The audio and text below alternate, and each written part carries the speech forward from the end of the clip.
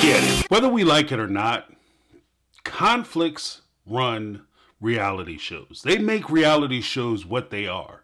If you didn't have one cast member arguing with, disagreeing with, or cussing out, or downright coming to a point where they're flipping over tables and losing their minds during the course of a reality show, you wouldn't have a show.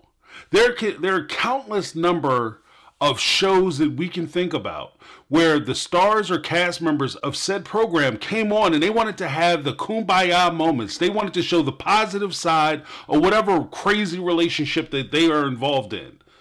And subsequently, those shows have been canceled. When we look most recently at Sister Wives, one of the big two villains for Sister Wives were Kody Brown Robyn Brown. And the crazy part is, is that when the show came out, they couldn't figure out why so many people disliked them. Because in order for you to have a show, you have to have a villain. You have to have an antagonist. You have to have somebody to root for and you have to have somebody to root against. And with Kody and Robyn, the situation pretty much wrote itself. You have an older guy who has long-standing relationships in an already made family. He leaves said family and moves over to his younger, quote unquote, diesel model Jean end quote wife who he finds more attractive, who he thinks is the bee's knees, and he wants to spend all his waking hours over there at the house. No shame, no shade. That's who he fell in love with. You know, he can't be held back for his emotions. and that's where he wanted to be, so that's where he went. But for the longest time, both he and Robyn have been vilified. They've been drugged through the mud. They've been raked over coals because people want their pound of flesh from the villain. And even as we move now, even before the tragedy that hit the Brown family, which I'm not going to get into and I'm not pointing fingers on that situation, I don't want to talk about it. But before that tragedy occurred, both Kody and Robyn trying to recreate their image, trying to move back into the light, trying to become popular characters once again on the reality show Sister Wives. That effort has gone largely into the fail column. like they've been failing miserably at trying to come out of that that whole thing. And it's like boo hoo, boo boo, so sad, too bad, nobody cares. Because as far as most of the viewers are concerned, they're going to be the villains. So the true way that they can try to rehabilitate their image, or at least in my perspective, is for them to find a new villain. You see, they tried the, the look back and the talk back where they tried to explain everything and go back and tell the audience members, no, no, no, you have it wrong, and nobody bought it. So what they need to do is they need to transplant their evilness, the, the attitudes that people have towards them, and put it on somebody else. And in my opinion, I think that that new candidate, whether purposely whether intentionally from production, realizing this is what they have to do, whether it's something that uh, this particular person volunteered to do, because let's be honest, it would move them from a supporting cast member or somebody who just appears on the show to somebody who can now demand a check. The person I'm talking about is actually Tony, Mykelti's husband. Why is Tony in such a prime position to be the villain of the show? If we think about it, Tony has a way in. He's not a part of the Sister Wife franchise. He kind of came in with a little bit of spice because the attitudes that he had, kind of the uh, male chauvinistic uh, mentality and positions that he was taking, some of the things that he was saying, kind of rubbed people the wrong way and it made people uh, question him. He started to mirror a lot of the things that Kody was doing. Kody went to uh, pick Robyn's dress. Tony insisted that he pick Mykelti's dress and that he be completely involved with every step of the wedding. There's no surprises as far as he was concerned in his wedding, right? Even when it came down to them purchasing the home or uh, them doing the wedding and who was going to pay for the wedding. There was a big controversy where he was like, oh, it's easy. All they have to do is mortgage their house and they could pay for the wedding. Oh, well, Mykelti later went back and I see what she was trying to say. She was saying that the reason Tony said that was one, she can't acknowledge, which I've always suspected, that TLC was paying for part of the wedding. I also take the position that even counter to that point, that TL, there's no way TLC would pay for a second wedding in the same season. There's no reason why they would do that. They already had one wedding for this season. Not to be a jerk about it, but in production, we already did that. Fonzie already jumped the shark in this particular episode. Why are we going back and trying to do it twice in the season? He already did the big jump. We already had the to be continued. Will he make it? Won't he make it? Episode. We already had that. We already had the big wedding with uh, Maddie's wedding. Why would we do it twice? So they they're not going to pay for it. But even if they did pay for it, okay, fine, they were going to kick some money towards it.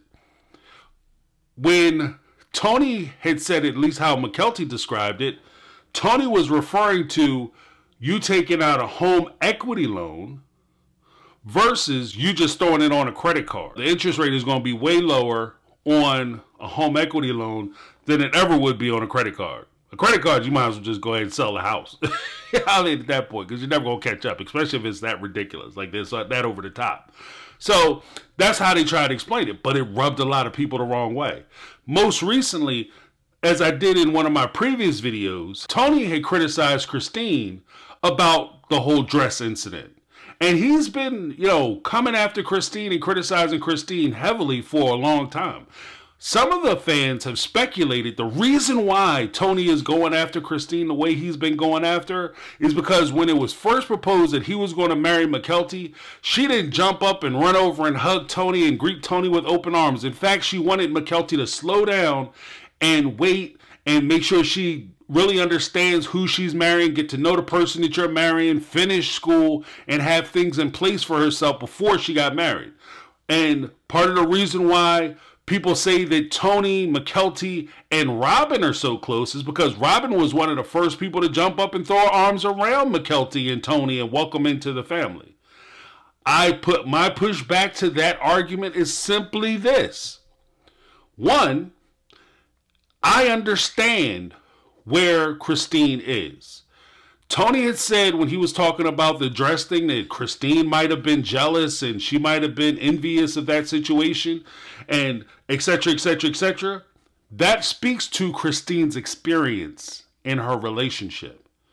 If she is having trouble with her husband, Kody, Christine is having trouble with Kody at the moment and they're having difficulty seeing eye to eye and when she first married Kody, she was so in love with Kody and things seemed so wonderful. And she was looking at her love with a youthful, hopeful, gleeful eye.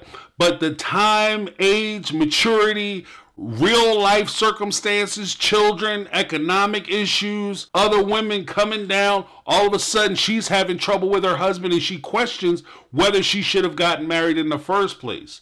She also questions because she's in a financial situation where she has to stay with this man. And what Christine theoretically could have been arguing is that one, you are 20 years old when you're talking about getting married.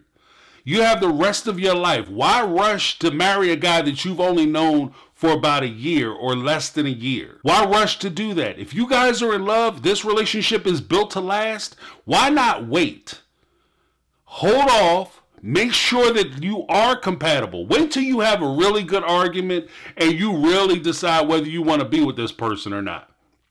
Because anything less than a year, I don't see, unless something crazy happened, I don't even see you guys really having a face off argument. And by face off, I don't mean you facing each other. I mean you take off the illusion or the representation that you have trying to present yourself as a good person. And you, the real you, takes a real position and you have an opposing view to the person you're in a relationship who is taking off their mask. And you're standing there, the real you is standing there arguing with the real them. And you guys are throwing it at each other and making decisions.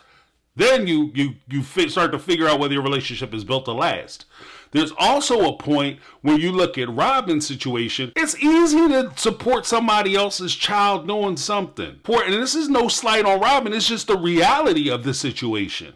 You can jump up and say, Oh, you guys are in love. It's so amazing. I hope that you guys, oh, I gotta be there. I gotta be there. Include me on everything. It's easy when it's somebody else's 20 year old daughter. But we just saw in season, uh, was it 18, where Robyn's oldest daughter, who is now 21, 22 years old, was standing there talking about she's about to get her first boyfriend and start going out for the first time with this first person. And she's 22 years old. And Robyn insists that she focuses on school, that she not worry about getting married. That's her daughter. Her second eldest daughter, uh, Breanna, She's 20 years old. She's the exact same age as Mykelti when she got married. Not when she was engaged or she let everybody know. When she married uh, Tony, she was 20 years old. So you have a situation where Robyn isn't staying consistent across the board with everybody, making sure everybody rushes to find a soulmate and get married at 20 years old. In fact, Robyn is taking the exact opposite position when she was standing out there talking to Meri and Aurora about Aurora getting involved with these relationships. You need to slow down and make sure you have your career set so that that way she's taking care of herself and she's not trapped in a relationship. Because even Robyn understands that financially, if you're tied to somebody, you don't have a way out, you are trapped. And we can sit here and talk all day about traditional marriages and traditional weddings, but at the end of the day, you if you're living that your trad wife, trad husband, where the man goes out every day and he works and he's taking care of the family and she stays home, then if she stays home for 20 years to take care of the children that they have together and those children grow up and they hit their 18th birthday and that upon that child's 20th birthday husband who's been working who has 401k and who has work experience looks at his wife and says you know what? This isn't working out. You need to pack your stuff. And i say you need to pack your stuff because you can't afford to be here. You don't have a job you can't pay the mortgage. Because remember, we, you know, smart dude will take out a second loan on the house. He'll take out two, three, put two, three mortgages on the house. There's no way she can afford that. And she's not getting that in alimony, no matter how much we pretend that that's the case. So you try to set these ladies up, and that's just the argument for it. Now, again, if the, if your thing is you want to stay home and be a home wife and you trust your husband, that's that's fine. But it's ironic to me that somebody who is in a like or similar situation when Robyn, who has been divorced, says to her daughter that I want you to make sure that you have power and you're able to make decisions for yourself. And I want to empower you to be able to make those decisions. Even if you stay home, you still want to have that piece of paper from that college or university that can open a doorway for you to an opportunity. And I want to make sure you get that. And nothing is going to get in the way of you getting that, including love. So it's ironic she took that position. So when Tony sits there and he pretends like Robyn was so gratiating or so so ingratiating to him coming into the family, we have to take that into account. Now, with all that being said, I would just simply say this: if this is in fact what Tony is doing, or if Tony hasn't really thought about it, bruh, this is a great opportunity for you. The whole storyline between Kody and Robyn is long in the tooth and it doesn't make a whole lot of sense moving forward. And as anybody who has talked about Sister Wives, they talked about getting rid of Robyn and, and letting Kody and them go so that they can move on with the different shows. One of the built-in uh, conflicts that you can have is with the son-in-law. And so if you want to have that second breath of life, this might be something that he wants to do and maybe TLC is considering. Let me know what you guys think. If you guys like the video, please share the video. Hit the like button, subscribe, hit that thumbs up. Let a player know you like what I'm doing. I appreciate it. Don't forget this Sunday, I will be doing my book review of Becoming Sister Wives. It will be 10 p.m. Eastern Standard Time this Sunday. Make sure you come in for the live. We're going to have a lot of fun. Thanks so much. Leave your take down below. This is my take. I'm James. This has been my take on reality, and I'm out.